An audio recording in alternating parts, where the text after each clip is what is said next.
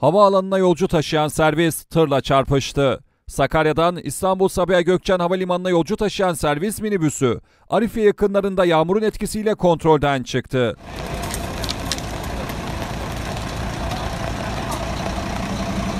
O esnada tırla çarpıştı. Kazada minibüs sürücüsü araçta sıkıştı, bir kişi de yaralandı.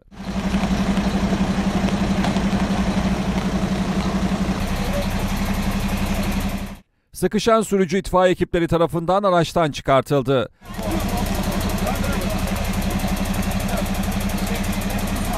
Yaralılar sağlık ekipleri tarafından Sakarya Eğitim Araştırma Hastanesi'ne kaldırıldı. Yolcular ise başka bir araçla havaalanına götürüldü.